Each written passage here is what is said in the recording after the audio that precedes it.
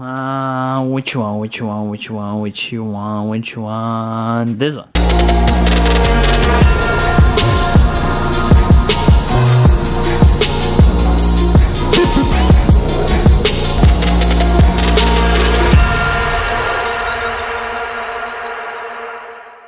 This one. That was the one it is. Ready? Just to prove you guys, I have a lot of modifications, so and more to come, more to come, more to come. Welcome to the vlog, guys. Again, Matt here, as always. Thank you so much for watching. If you're here for the first time, let me tell you, welcome. First of all, welcome. If you don't mind, subscribe because we're gonna do a lot of stuff. I mainly do stuff with my Colorado, which is outside. We are going there really soon. Just hang in there. Welcome to the vlog again, guys. Super excited. You guys just saw I have a lot of modifications here, and today gonna. It's something that it's not necessary to be honest, but it's something I want to do just because I, think it looks better. You know what I'm saying? It looks better. And I had this part, I, I probably ordered this part like two months ago and it's sitting here and I definitely need to get that done. Probably by the title and thumbnail, you know what it is, but let me just show you. As you guys saw in the beginning of the video, I have a bunch of stuff here. This is exciting. This is more exciting.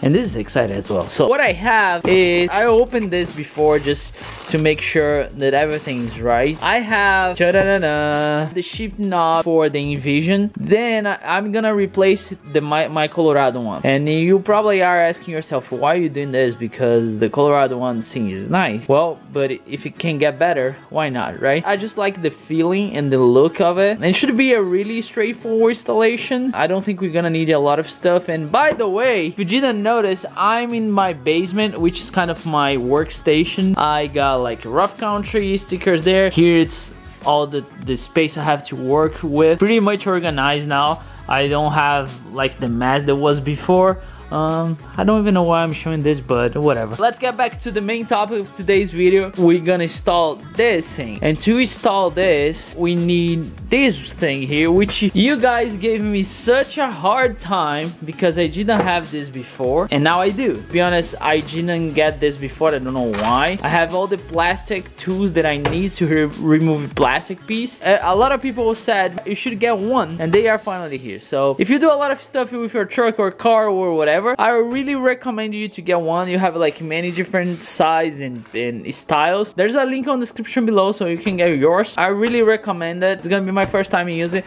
And to be honest for 13 dollars it's not it's not bad at all. Even comes with the case and everything else. So you guys gonna see that we're gonna use it today and see how it is right? And i know you guys are tired just to see what it is. You guys want to see the truck and let's get to work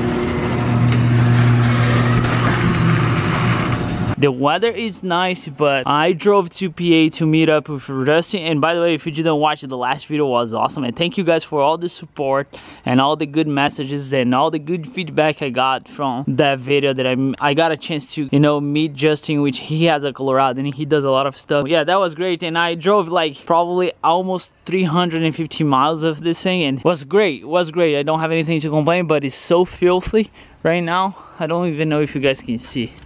So you see, I cannot get a car wash because tomorrow is probably gonna rain. Without talk, let's get to work. So the main thing here, uh, we're gonna remove that, the stock shift knob first, and then we're gonna see how that's gonna work out. And I would need my tools, so let's get the tools. Boom, we got it. So I'm quite sure this is the one we're gonna use, but anyway, I brought, I brought everything. I'm gonna try to place you guys in somewhere you where you can see. All right, I think you guys can see good from there, right? First thing you need to do, you need to remove this piece here which should be really easy.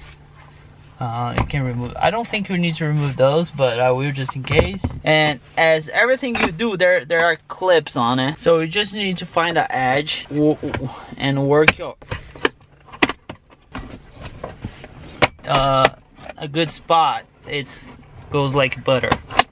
So those are the clips. That's why you need to like just to find those here and those tools are very helpful. So get yours. Get yours. Don't don't wait. Get yours and if you guys are wondering why we replace this is because sometimes my knees gets here. It's not a big deal but i just think the other one's gonna look better. Uh, it should be from here. And when you do this see? Really easy I mean, not easy. It's again, that scared scared the hell of me. I think just because the noise, the, the noise that makes though. Boom. All right. So we're making some progress, boys. We're making some progress. There's a connection here, a connector. So you need to remove because that's it's kind of like you see there's wires on it and all the kind of stuff. Just make sure you remove it before you do anything else because you don't want to break it. It's so hard to do this with one hand though. There we go. See, there's a clip there, so you just remove it. Good to go. To be honest, now I think is the worst part, which is removing the the shift knob. The shift knob is just like attached to it. Uh, now I think it's the hardest part. So let's see.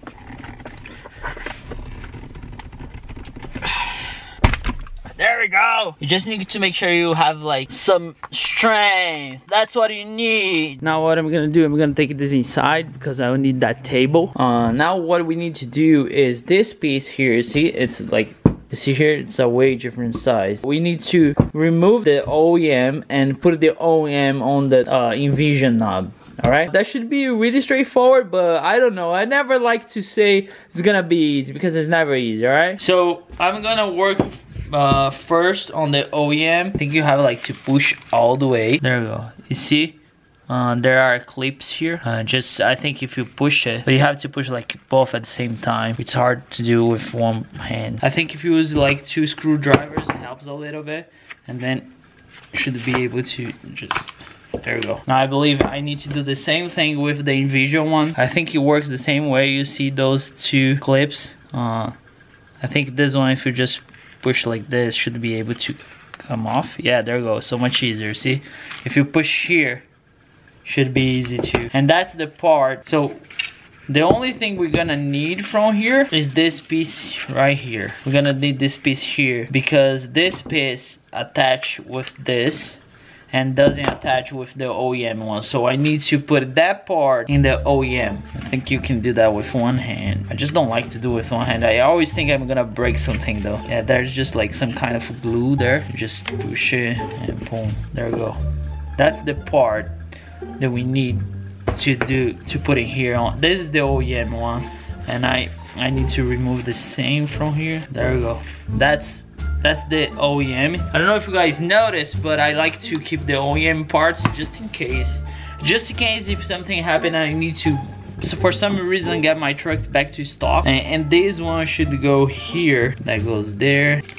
Okay i think we need just to do they don't say to put like a glue. I think somehow we need to use like some kind of glue. So you have this part and that this knob goes here. But to keep inside I think you need to put like some kind of glue. I'm gonna use this glue here which I'm not, I'm not even sure if I should but that's the only one I have. So I use some glue to fix it uh, just a little bit. I, I don't think it's gonna be enough even to hold though. But I just don't want to mess up with glue and stuff right now so we try to pull back. So again i just put a little bit of glue though. Don't go crazy with glue at all. So i think now we just put it inside. And we should hear a click. There we go. Just be careful with glue. Uh, i just use a little little bit. A little little bit. It's just like enough to hold it because once you put in there um, the pretty much the thing the the knob holds this piece here together. So now it should be easy straightforward and we should be good to go. I hope that works because it looks way way way way better. Let's do it. It's not gonna change that much but I think it's just gonna look I don't know. I like when I get new stuff to the truck. I really do. All right to put it back make sure that the connection. Oh there you go. You see you just plug it in and make sure to connect the connector because that's really important. Boom like a glove. That kind of that kind of matches with like the steering wheel and with, with the things here. Uh, i'm happy. I mean as long as that works. So let's see. Uh, if we're gonna get anything on the dash okay parking i mean parking. Oh it's working. Neutral drive low, two, three. Ah, it's working. It's working. Woohoo, it's working. Come on, boys. That was really easy and I'm really happy with how that come, came out. New shifting knob. I really like the way that feels it. I mean, just... It feels solid. And wow, so much room here now. What do you guys think? Did you guys like it? Let me know in the comment below. So I like it though. I, I just don't know how to explain it to be honest, but I like. I really do like. Oh yeah, she sounds great and she looks beautiful. There we go. What do you guys think? Let me know in the comments below that it's really hard to make it inside looks better because it's already it's a, I think it's like spec to the max at least my truck. Like I even have like the Bose sound system.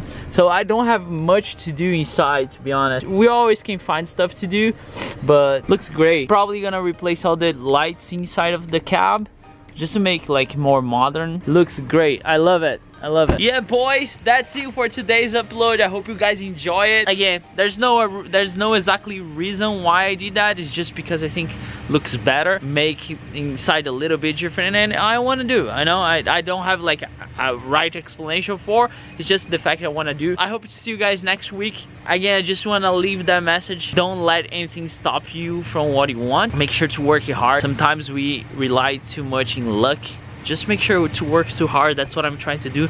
I'm trying to accomplish a lot of things. And if you pay attention the last three vlogs probably connecting the dots a lot of good stuff happening in the channel with the colorado as well but with something else. All right? If you are here for the first time subscribe. If you could do me a favor smash that like button because that helps a lot. Leave your comment below for any question you have. I try to answer everyone. Also, if you need anything you saw in this video, all the links are in the description below. The tools, the knob for the Envision. That's the knob before the Envision though. I Don't know if I said that before, but it fits perfect with the Chevy Colorado. So if you want to grab yours, the link in the description below. Thanks so much for watching. Don't forget to follow me Instagram. Instagram is just a short way that I can communicate with you guys.